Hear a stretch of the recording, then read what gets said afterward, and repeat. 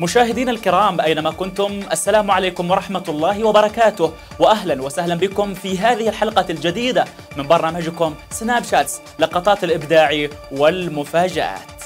وفي هذه الحلقة كالمعتاد نطالع وإياكم أبرز التقارير الواصلة إلينا منكم وآخر ما توصل له العلم في أبرز مجالاته. وفيها نتابع وإياكم. في عالم التكنولوجيا شاحن لاسلكي يشحن خمسة أجهزة دفعة واحدة. ولنا وكلاء في الحديدة في فقرة من مكانك الأستاذ صالح باضاوي تجربة العناية بممتلكات ومنتجات النحل مؤسسة متكاملة وفريدة ومشاركات من تريم إلى كل أصقاع الدول العربية. في عالم الترفيه. في النمسا مهرجون يدخلون البهجة على رحلة المهاجرين الكئيبة. الباب في فقرة هذه بلدتي منطقة الباب بغيل بوزير بساحل حضرموت.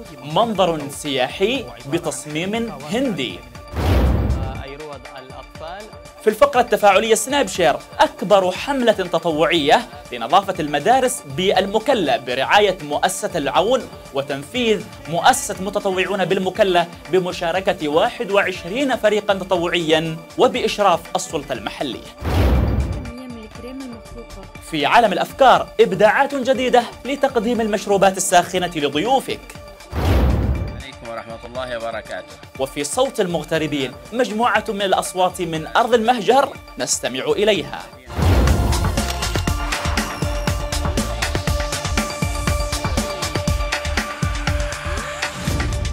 أهلا بكم من جديد إلى عالم التكنولوجيا. شاحن لاسلكي يشحن خمسة أجهزة دفعة واحدة.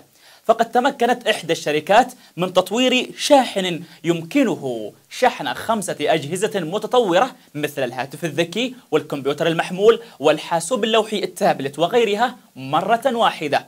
أصبح شاحن الأجهزة الذكية بالطاقة حاجة وضرورة مستمرة خاصة أن بعض الأشخاص لا يمكنهم التخلي عن حمل تلك الأجهزة التي أصبحت تمثل جزءا بالغ الأهمية في الحياة اليومية. ومن ثم أصبحت الشركات تتسابق لتقديم أفضل الشواحن التي يمكنها من تلبية حاجة المستخدم. فأصبحنا نرى العديد من الخيارات آخرها هذا الشاحن المدهش الذي أطلقت عليه الشركة المنتجة اسم الشاحن المرن. ويتميز هذا الشاحن بالعديد من الخصائص والمميزات حيث أنه لا يمد الأجهزة الذكية بالطاقة فقط بل يعمل على اتساع المدى الخاص بالواي فاي ويمكن أن يقوم الشاحن بتزويد الأجهزة بالطاقة لاسلكيا ومن ثم فهو سيكون مناسبا لهاتف السامسونج الجديد السكس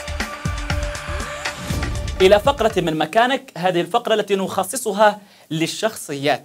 الأستاذ صالح باضاوي تجربة العناية بممتلكات ومنتجات النحل مؤسسة رائدة في مدينة تريم. له مشاركات وإسهامات عديدة في مختلف الورش والمؤتمرات التي عقدت في المملكة العربية السعودية وسوريا ومصر وليبيا. بالنسبة لي أنا اسمي صالح سالم بضاوي آه، عضو اتحاد النحالين العرب ومدير مؤسسة الأصيل للأحسن ومستلزمات النحل. في حضرموت.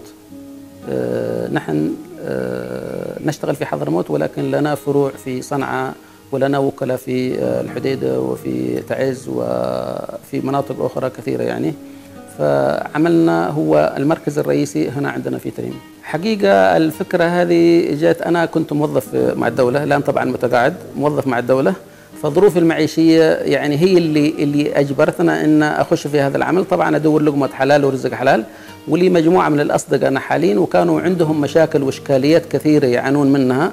فحاولت أن أدلي بسهمي معاهم وأحل مشاكلهم وأستطعت أن أتعامل معهم بكثير وأوفر لهم مطالباتهم ومستلزماتهم وأحل كثير من مشاكلهم لأنه كانت عندهم مشكلة حتى في موضوع انهيار النحل. في انهيار كبير كان في النحل لعدم وجود الأدوية والعلاجات والأغذية المناسبة لل- ناهيك عن التربية الحديثة وتطوير ال- النحل وإلى اخره فهذا اللي دفعنا أكثر هو ان أريد أحسن معيشتي وأنا كنت موظف. راتبي ما يكفي فهذا اللي هو دفعنا لا أقل ولا أكثر يعني. هم زي ما يقولوا القضاء يفقه.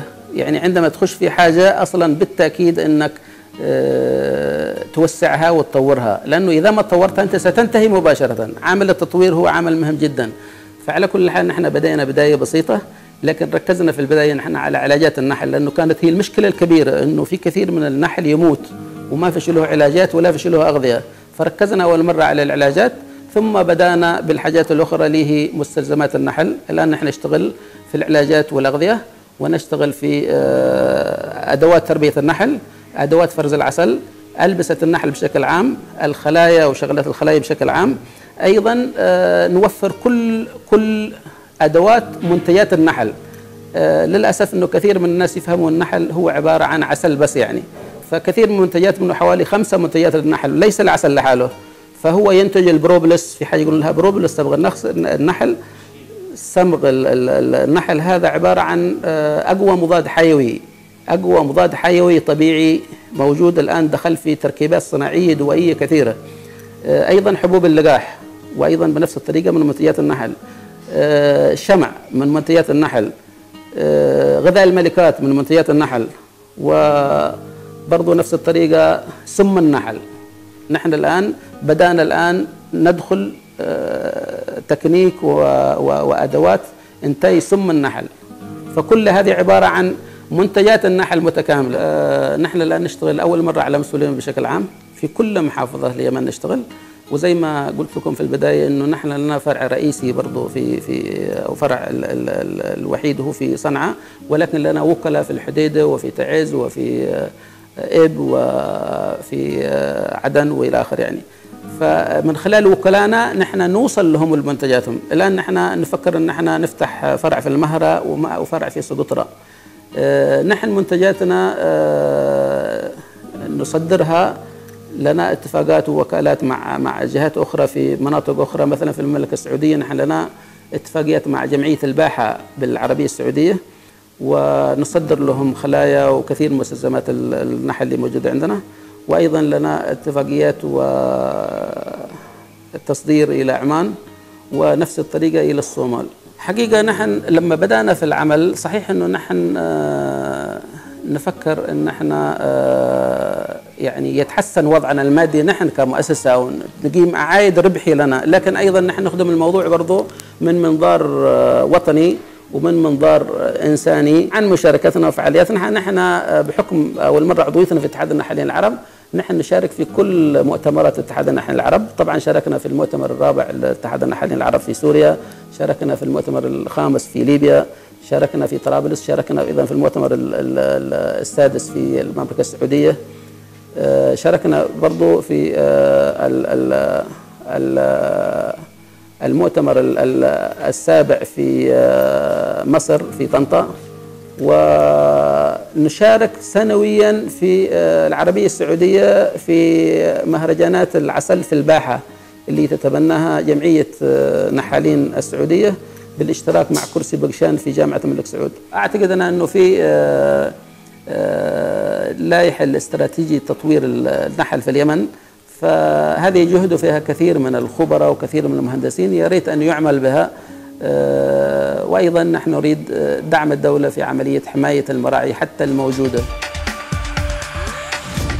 مشاهدينا الكرام الآن نتوقف مع هذا الفاصل ثم نعود إليكم لبقية التقارير في هذه الحلقة من سناب شات لقطات الإبداع.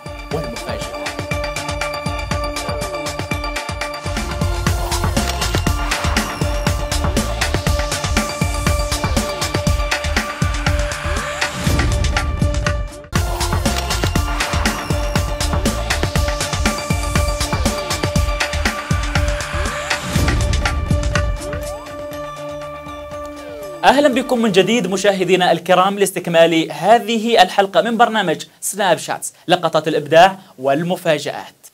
إلى عالم الترفيه. في ممر كئيب تحت الأرض في محطة فيينا حيث يقبع عدد من المهاجرين بانتظار استئناف رحلاتهم. تقتحم فرقة من المهرجين المكان مثيرة ضحكات عالية. في لحظات قليلة ينسى فيها العائدون من نزاعات بلدانهم رحلة الهجرة القاسية ويضع المهرجون أنوفا بلاستيكية حمراء ويرتدون سراويل عشوائية المقاسات ويحملون آلات الموسيقى متجولين بين اللاجئين الذين تبدو عليهم أولا ملامح الحذر ثم ينفجرون في الضحك صغارا وكبارا. ويبدو أن المهرجين حققوا هدفهم مع المهاجرين القابعين تحت الأرض في محطة فيينا. فقد احتشد حولهم عشرات الأطفال مع أهاليهم يصفقون ويصورون بهواتفهم هذا الاحتفال الضاحك وتواجه النمسا أكبر تدفق للاجئين من حرب يوغسلافيا وتنشط مبادرات مدنية إضافة إلى جهود رسمية في مساعدة اللاجئين. فقد وصل عدد طلبات اللجوء في النمسا بنهاية عام 2015 الماضي إلى 85 ألف أي ما يساوي واحد بالمئة تماما من عدد السكان. ولذا فإن النمسا من أكثر البلدان الأوروبية استقبالا للاجئين مقارنة مع عدد سكانها. الآن إلى فقرة هذه بلدتي. تقرير عن منطقة الباغ بغيل باوزير بساحل حضرموت منظر سياحي فريد بتصميم هندي رائع. الباغ كلمة هندية وتعني البستان وهو يقع في الناحية الغربية من الغيل في حدود منطقة الكوم وهو عبارة عن حديقة واسعة بها من الأشجار الكثير وفي وسطها بني قصران على الطراز الهندي وفي وسطها بركة ماء مسبح للسباحة. وقد شيد هذه الحديقة السلطان عمر بن عوض القعيطي الذي تولى الحكم بعد وفاة أخيه غالب بن عوض القعيطي 1921 ميلادية. حيث كلف وكيله سعيد بن قاسم بالإشراف على بنائها وكان السلطان القعيطي يتخذ هذا البستان كمصيف له ولحرمه وحاشيته ويتردد من فترة لأخرى للتنزه أو الترفيه. واستمر الحال إلى فترة طويلة يتوارثه الحكام ثم انتقل بعد ذلك لمؤسسة السياحة. وفي عام 1994 للميلاد تعرض هذا البستان الجميل للنهب والسرقة من قبل المواطنين إثر الحرب التي حدثت في صيف ذلك العام. كما قام ابن القاسم أيضا بزراعة المنطقة الواقعة أمام مدخل البستان من الناحية الجنوبية البحرية بأشجار النارجيل الميادع خارج سور الباق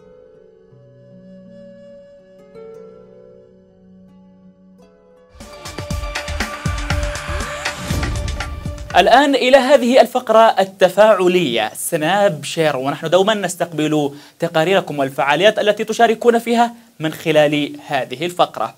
أكبر حملة تطوعية لنظافة مدارس مدينة المكلا التي تأتي برعاية مؤسسة العون وتنفيذ مؤسسة متطوعون بالمكلا. هذه الحملة التي شارك فيها 21 فريقا تطوعيا من مختلف مناطق وأرياف مدينة المكلا. هذا التقرير الذي بعث به إلينا من مدينة المكلا عبد الله بن رعية نتابع هذا التقرير وهذه الفعالية. تكاتفت الجهود الشبابية لإنجاح حملة نظافة مدارس عروس البحر العربي مدينة المكلا. فبذلك الجهد الذي شارك فيه الجنسين الأولاد والبنات وأيضا شارك فيه الأطفال ليجسدوا بذلك فسيفساء رائعة. ألوانها العلم والمعرفة والعمل التطوعي وروح الشباب. فمنذ بداية الأزمة في عموم أرجاء اليمن تعطلت المدارس والجامعات والثانويات فباتت خاوية على عروشها فهبت عاصفة الأتربة والأكياس والأوساخ لتحتل تلك الدول التعليمية فجاءت حملة تنظيف المدارس بمدينة المكلا بإشراف من السلطة المحلية بحضرموت ومكتب وزارة التربية والتعليم بساحل حضرموت وبرعاية كريمة من مؤسسة العون للتنمية وبتنفيذ المؤسسة الرائدة بالعمل التطوعي مؤسسة متطوعون بمشاركة 21 من الملتقيات والفرق التطوعية بمديرية المكلا ليعود بذلك الأمل ويسطع نور المستقبل المشرق. وتأتي هذه الحملة التي آمن بها ما يقارب 400 متطوع ومتطوعة بادروا لتنظيف 21 مدرسة وثانوية داخل المدينة وتجهيزها استعدادا للعام الدراسي 2015-2016 ندخل على الناس السرور نزرع بساتين وزهور ننشر أمل والمجتمع فينا فخور أحلى شعور. وبروح حلوة رائعين عقلب واحد أجمعين حتى بتعبنا في البذل مستمتعين. متطوعين للغير متعاونين بالخير نفيد حتى نستفيد كثير. البذل عادتنا منه سعادتنا والحصاد كبير. حسينا بمعاناة عمال النظافة كيف هم يعانون؟ آه، وذا الشيء يعني يعطيك جانب إنساني أكثر. والحمد لله اللي الله سبحانه وتعالى أعطانا إحنا القدرة والقوة نحن نسوي أعمال زي دي. أولا أنا سعيد في المشاركة في هذه الحملة التي تقيمها آه، مؤسسة متطوعون جزاه الله خيرا. وأدعو الشباب إلى أن يشاركوا في هذه ال- الفعاليات ال- الطيبة التي تنفع المجتمع. إني تعلمت أعلم الفريق غيري إنهم يتعلمون روح التعاون والتكاثف مع بعض وإنه على قولتهم يعني يد واحدة ما تصفق لازم التعاون مع بعض. ولما تكون يداتنا مع بعض بنبذل جهد يعني نبذل جهد وننظف ونسعى. برضه إن إحنا نكون إيش يعني اخذنا الحمل عن الفراشات والنظافات. مش كل مرة ان هم اللي ينظفون وهم اللي هذا نموذج من النماذج الشبابية التي تكاتفت لخدمة مدارسها وخدمة روضها أي روض الأطفال. وهم تجد الأطفال وتجد الكبار كلهم يشكلون لوحة جميلة لنظافة مدارسها وأيضا لتعود الحياة العلمية أو النور الساطع الذي يتمناه كل الشباب لتحظى حضرموت بالعلم والعلماء. ندخل على الناس السرور. نزرع بساتين وزهور ننشر أمل والمجتمع فينا فخور. أحلى شعور وبروح حلوة رائعين عقلب واحد أجمعين. حتى بذلك تكاتفت الجهود واستثمرت الطاقات الشبابية بالشكل الصحيح ليسطروا بذلك الحدث حكاية أمل جديد. سيبدأ بالعلم والمعرفة فالاهتمام بالمدارس يعني الحفاظ على المستقبل ونظافة المدارس تعني نظافة عقول من فيها. هكذا بدت المدارس جميلة كما كانت جميلة في السابق بعد ركود دام ما يقارب ستة أشهر. هكذا بدت بجمالها نظيفة وهذا إن دل دل على نظافة عقول أهل اليمن وأهل حضرموت خاصة. تحية لكل الشباب الذين بذلوا الجهود. وتحية للراعية مؤسسة العون وأيضا لمؤسسة متطوعون التي دائما تحث الشباب على مثل هذه الأعمال الخيرة. أولا شعور رائع أني أساعد في تنظيف حملة مدرستي آه تنظيف مدرستي رغم أني خريجة هذه السنة. آه طبعا يعني بما أني ما راح أدرس فيها السنة الجاية لكن شعور يعني ولا أروع أني نشارك في تنظيفات وحملات. ثاني شيء يكون كقدوة لباقي الطالبات إن إحنا نشارك. رغم إني بكون خريجة وبنزل منها صح لكني بتمي وبواصل إن شاء الله معاهم إني أكمل في الحملات. طبعا هذا أول شيء مبادرة من الشباب مبادرة جيدة من تنظيف المدرسة تمام من من من فصول أو من بشكل عام مدرسة كامل ما قصروا الشباب ومأجورين عند الله سبحانه وتعالى قبل أي حافز أو من أي شخص ما يعني ما ينتظرون من أي حافز من أي شخص إن كان يعني أول شيء أجل الله سبحانه وتعالى عشان يرضى عنا. طبعا هذه الأعمال الخيرية لازم نحث عليها الشباب الأعمال التطوعية مجتمعنا. وما شاء الله الشباب يعني هم رمز ال- الأعم- الأعمال التطوعية والحملات زي هذه. هذه هي الخلاصة الكاملة لحملة نظافة عروس البحر العربي مدينة المكلا. فحفزوا أبناءكم على الالتحاق بالمدارس لننعم بحضارة نظيفة الذهن بنظافة مدارسكم. شكرا لك عبد الله بن رعيه من مدينة المكلا الذي بعث إلينا بهذا التقرير. نحن كذلك نستقبل تقاريركم التي ترسلونها إلينا في هذه الفقرة من هذا البرنامج. فاصل ونعود.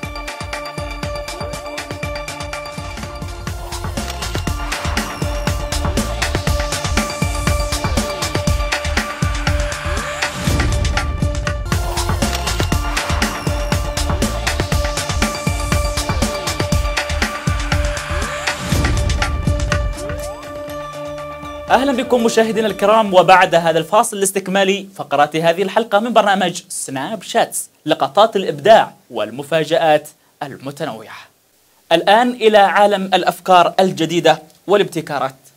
إبداعات جديدة لتقديم المشروبات الساخنة.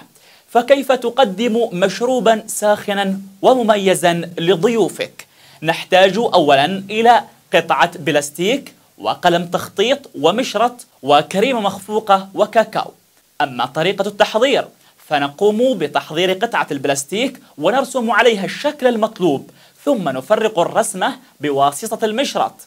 نضع كمية من الكريمة المخفوقة على سطح المشروب هكذا. نضع القطعة البلاستيكية فوق الرقوة وننثر الكاكاو أو أي مادة مرغوبة أخرى فوقها.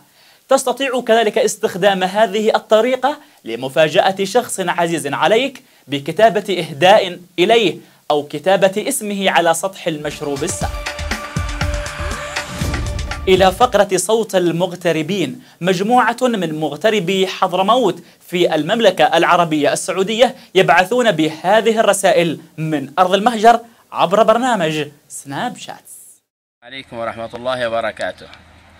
معكم أبو بكر بن سالم بن علي الخطيب من مدينة تريم الغنة منطقة عيديد أو الخليف. مقيم بالمملكة العربية السعودية لحوالي 29 سنة تقريبا ومقيم مدينة الرياض العاصمة. ونشكر قناة حضرموت على إتاحة لنا هذه الفرصة وشوقنا إلى الغنة تريم. الله يعودنا في خير وعافية. شكرا. بسم الله الرحمن الرحيم. أنا حسين عبد الله السقاف مقيم في المملكة العربية السعودية في مدينة جدة من مقيم مغترب منذ أكثر من 40 عاما وقد درست الثانوية العامة هنا في المملكة والحمد لله والأولاد أولادي. وأنا طبعا من مواليد سيئون محافظة حضرموت وأولادي طبعا مقيمين معايا هنا في المملكة والحمد لله. وإن شاء الله نتمنى أن الآن إلى لقطة ختام هذه الحلقة. في هذه اللقطة يظهر هذا الطفل. هل هو أقوى طفل في العالم يستعرض هذه الإبداعات أم هو طفل مشاكس؟